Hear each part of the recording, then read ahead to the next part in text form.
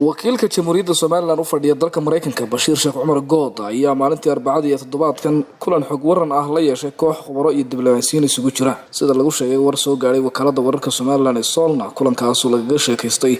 Doorka somalilan ku leedahay sugidda ammaanka badda cas iyo awoodda dekada berbera ku leedahay dardargelinta xilliga dhaqdhaqaaqa ganacsiga ee geeska afrika iyo gobolka iyo doorashooyinka ay isku diyaarinayso somalilan sanadkan dabayaaqadiisa danjire bashiir sheekh cumar good wuxuu uga mahad celiyey maamulka maxadka nabadda ee dalka maraykanka united states institute of peace oo xafiiskiisu ku marti qaaday kulankaasi.